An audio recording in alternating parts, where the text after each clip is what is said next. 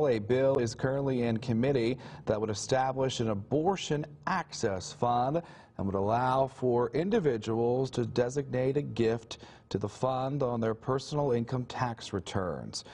According to the New York State Senate, the purpose of this bill is to break down barriers and aid in access to reproductive health care.